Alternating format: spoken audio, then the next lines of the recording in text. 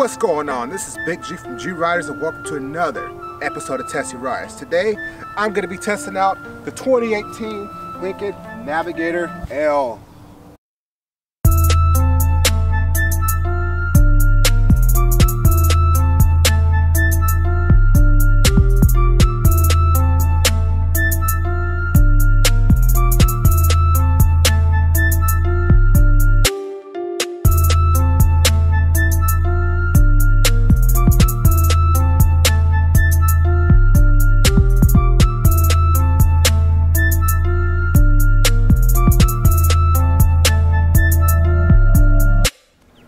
Welcome to the 2018 Lincoln Navigator. The Navigator was originally introduced in 1997 and it was the first of the American full-size luxury SUVs. And since the launch of this SUV, the Escalade came out a couple years later in 1999 and the Lincoln Navigator was always in constant competition with the, with the Escalade. So let's fast forward a couple more years. So when the Escalade got redesigned back in 2002, it kind of robbed the, Lincoln Navigator of all of its, of most of its sales and the Escalade has kind of held that throne for for the last like 10 years or so. Until, let's fast forward to this 2018 model year, Lincoln Lincoln finally came back with some heat with this new Lincoln Navigator, put this thing on a new platform, making this thing a little bit lighter than, than it was before, giving it more horsepower and giving it more luxury, thus making this beautiful Lincoln Navigator you see behind me. So, this is the 2018 Lincoln Navigator L. L meaning this is the long wheelbase of the Navigator, so this is the suburban variant of the Tahoe. So you get your third row and you get usable trunk space. And this bad boy is not the cheapest car in the world because of course it is a Lincoln and it can, this car can't go up to 100 grand. But this particular one I have here is not the $100,000 model. So what you get across across the whole entire lineup is this twin turbo V6 making 450 horsepower and 500 foot-pounds of torque. This bad boy weighs a luxurious about 6,000 pounds or so. Since this car is about 6,000 pounds, it only gets about 16 in the city and 22 out on the highway, which for you know a 6,000 pound luxury SUV with this amount of comfort, it's not too bad, but I'm pretty sure the Escalade gets a slightly better gas mileage than that. So, like I said before, the Select is the base model of the Lincoln Navigator.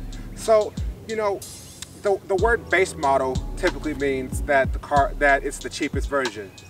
Yeah, this is the cheapest version, but the cheapest version of the Lincoln Navigator starts at a whopping $81,000. Since this car has only one option on it, the panoramic sunroof, which if you're gonna get this car, that's definitely a must. This car is about $85,000. And for $85,000, you get a lot of, of good standard equipment. Like you get a you get a variety of luxuries inside. You get this nice, beautiful exterior. You get, you know, a, a, a full-size luxury vehicle for 85 grand. And you know because this car is a long wheelbase model I definitely do I definitely would say that this is the better deal than the shorter wheelbase one just because you're gonna get your third row and you're gonna get your trunk space. But so like I've said before this car is very luxurious but most of that luxury is inside of the car. So let's go ahead and hop inside and see what it's looking like. Keep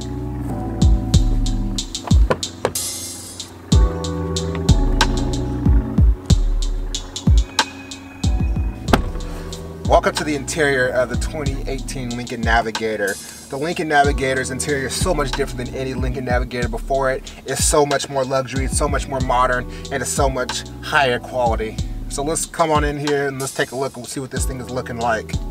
Welcome to the interior of the 2018 Lincoln Navigator. When you first hop in this bad boy, you can definitely tell how much more contemporary this car is over the model it replaced.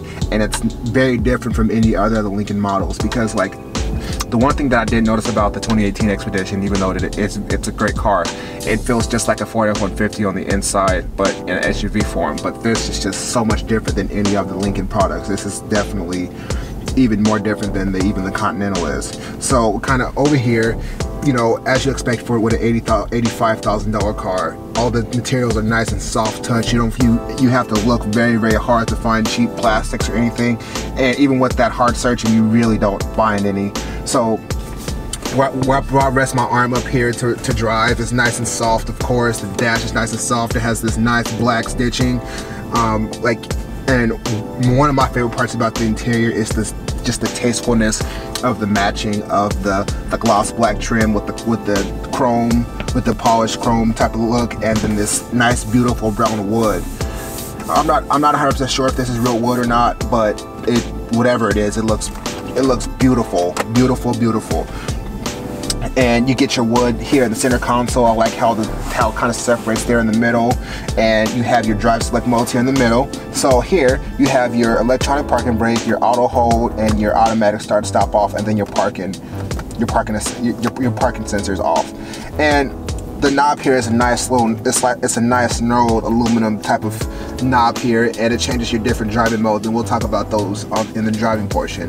So just like in the just like the drive select mode, your your fan your fan speed and your knobs for your volume and your tuning for the radio is also in that same it has the same finish as that. And then you got these nice little beautiful toggle switches for your temperature control for your climate control. And one thing that I'm, I'm really glad that Ford did with this model is they cut down on the amount of buttons that the car has. Like all previous model, all previous Ford models had way too many buttons, way way too many buttons. I think I counted on the Explorer and it was somewhere like 50 buttons or something like that. And I'm glad here that they didn't do the most and they cut down on all those buttons. Here, if you hop in a Lincoln Navigator and you wonder how you put this bad boy in drive, it's a little bit different than most other vehicles. Lincoln has been really heavy on the push button shifters, but on the Lincoln Navigator, they kind of moved to the center console here. So you have your, your four different toggle switches for your different park, reverse, neutral, and drive. And this car does have a little has a, little manual mode, and on the steering wheel, there's some steering wheel mounted paddle shifters on there, which I think it's it will be typically inappropriate for a full-size SUV like this to have that. But since you don't have anything else, it it, it, it works. I'll give it a pass on that. So let's move up. Let's move up past that, and we got we right here in the center, right under the the Florian hazards we have the surround sound camera system, so you, it has different modes. You can change what you want to see mainly. You can split it up, so if you're pulling out of a parking, like out of a parking lot and it's kind of blind, you can put the nose up a little bit and see what's coming from each side. Nice little fisheye there. Or you, or you can just go back to the 360. And there's two cameras in each mirror. There's one in the front and one in the back, which is nice. An $85,000 SUV needs to have that. All right, let's go ahead and turn that off. So now I direct you to the big huge 8 inch Sync 3 system here. So, one, Sync 3 is way better than any of the previous Sync systems. I'm not going to talk about that because I've talked about that enough in previous videos, but it works just as well in this car. It has Apple CarPlay, Android Auto, you know, the 360 camera system. I mean, I don't think there's really anything different or new this car that this car has that the other cars don't, except one cool little feature is if you're looking down here at the climate control and you figure out how like you know how do you turn it off how do you adjust everything you actually hit this menu button here and then up on your screen here you get all your different commands for you know heated steering wheel defroster all that stuff. So I think that's pretty awesome here. So moving past the center console this car has this nice continuous wood finish that goes behind the dash and goes all across into the passenger side. And it looks great. It's the same, same wood that you get over here. It, you know, and it has a little bit of gloss black trim just for a little bit of contrast. And I think so it worked very well. And then it also has this little chrome strip that runs all across the middle. This car is definitely high quality. It feels a lot more contemporary. It feels a lot more higher quality. And it feels like it definitely may be worth this, the $85,000 $85,000 price point that this car has. So, let's direct you up to right above the screen. So this car has the Revel sound system, which honestly sounds, it's probably the best sounding Lincoln sound system that I've heard so far. It doesn't have a lot of deep bass, but just the range of the sound system itself, it's it's pretty good. It's this very dynamic sound system, and I don't think it's a sound system that is good as an eighty-five thousand car, eighty-five thousand dollar car should have, but it's it's it, it does the job well enough. So before I forget, there are USB ports and a wireless charger for your phone in the center console here. And you got some nice big cup holders over here on the side. All right, let's see how this thing drives.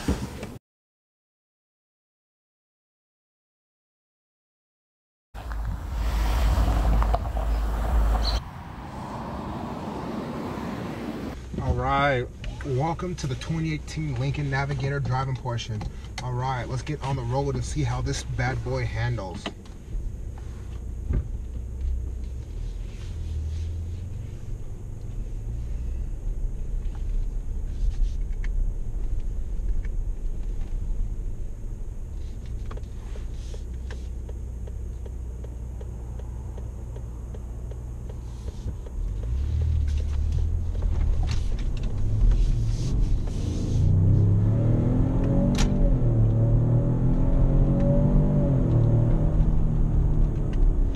first thing that you first thing I noticed when getting out on the road in this big in this big boy is this thing definitely got some power and torque to it. Like I said before in the in the earlier part this thing has 450 horsepower and 500 foot-pounds of torque.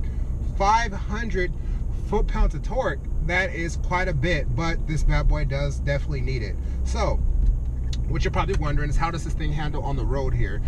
On the road this thing is very well mannered. It's very comfortable. The suspension is very comfortable. It doesn't feel too big and wallowy. And it's extremely quiet, like what you expect from a car that costs $85,000. But, you know, there's, there, I had a couple surprises with this car. So, you know, this car does have like its, have like its different drive modes. So I'm going to flip through them here. So we got normal, I'm in normal four-wheel drive right now they're slippery for like snow conditions and there's deep conditions that's like deep snow and mud assist so you know if you're in trouble like that's the one that you use. So I'm gonna go ahead and then they have conserve which is basically the eco mode of the 2018 Lincoln Navigator. And then I'm gonna go over to excite which is the sport mode. So one thing that I one thing that was kind of surprising to me is, is kicking this thing over into kind of the sport mode is it actually stiffens up quite a bit. Like it goes from just cruising over the bumps just floating down the road like you're on a magic carpet until you know this thing actually gets a little bit stiff which is actually kind of cool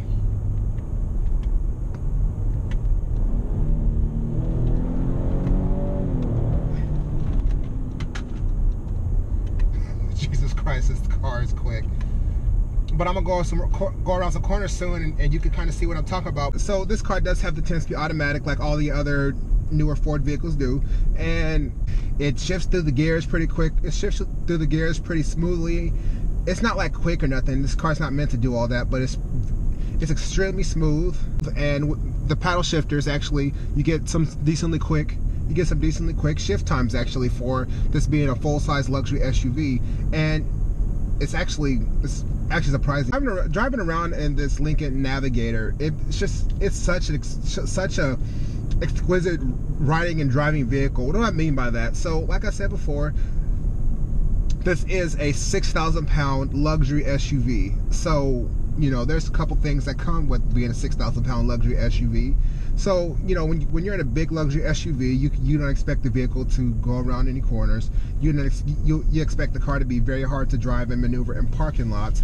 And you expect the car to get atrocious fuel economy. So, not to my surprise, since I've driven the you know 2018 Link, the 2018 Ford Expedition, and that car is great too.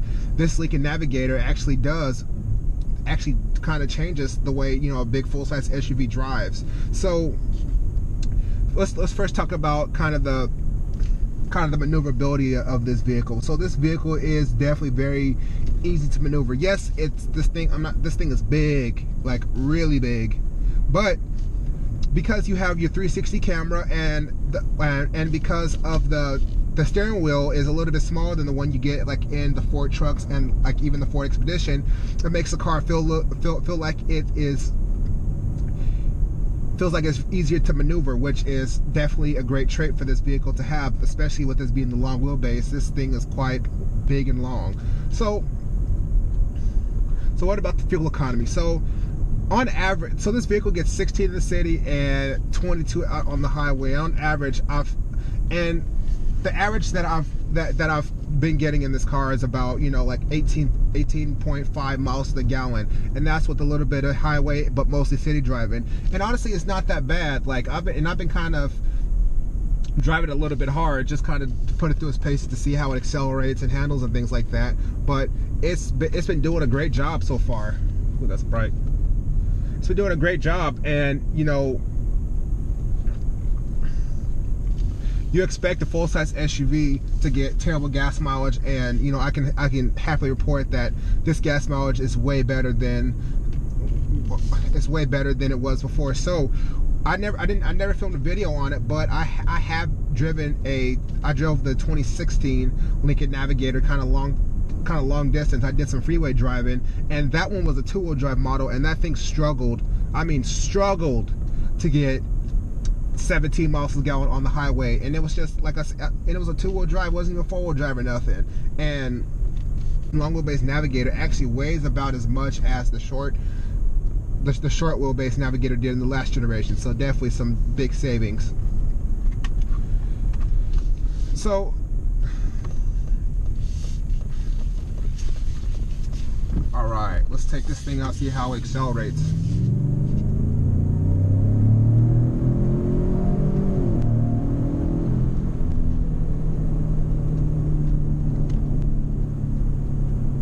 Right, so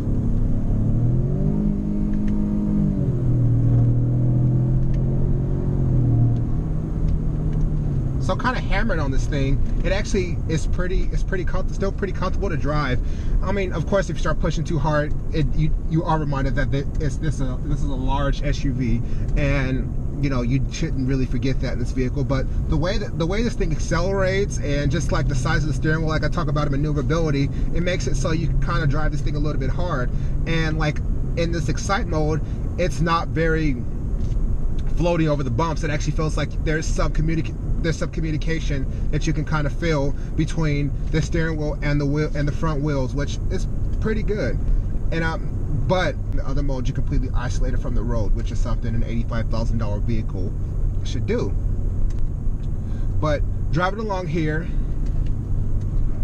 it's a comfortable ride. Like I didn't expect this car to not be a comfortable ride. I mean, it's, it's a Navigator, and it's quite. It's I, I quite like it. So one biggest thing for me is like one thing I wanted to talk about in this video because you guys seen the video. I did do a review of the 2018 Ford Expedition. I wanted to see how this compares to a Ford Expedition.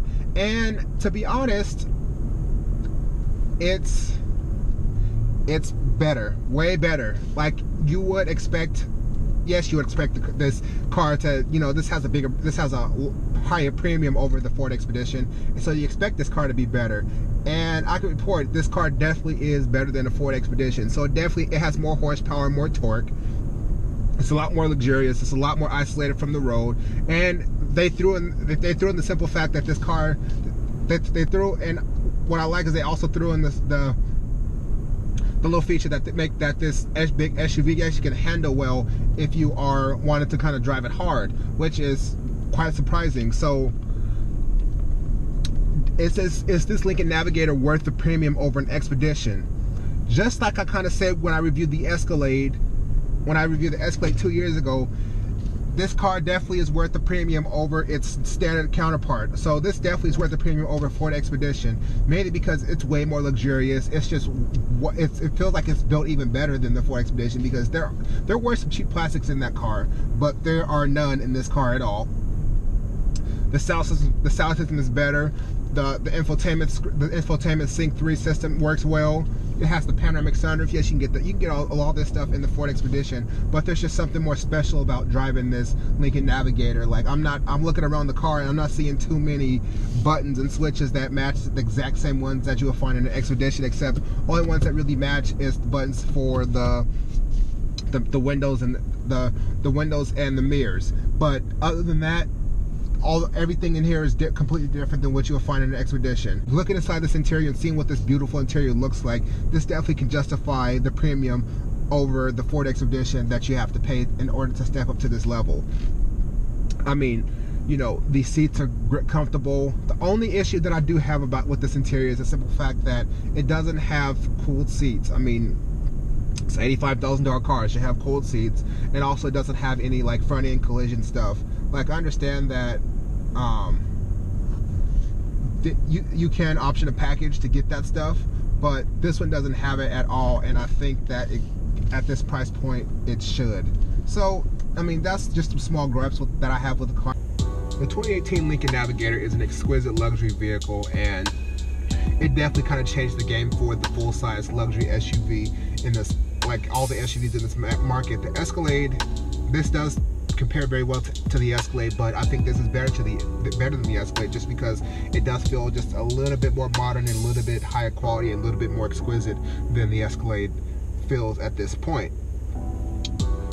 I mean, just like looking looking all around the cabin in here, this is def this definitely gets the most improved award from you know doing a redesign doing a redesign sis. I mean, everything you touch is high quality and everything you look at looks like it's quality and that right there is kind of what a luxury SUV is, is about. And also you know feeling special when you're driving it and seeing it and walking up to it. And this vehicle definitely checks all those boxes. So you know if you're looking for a full-size luxury SUV you definitely should you definitely definitely definitely should take a look at the 2018 Lincoln Navigator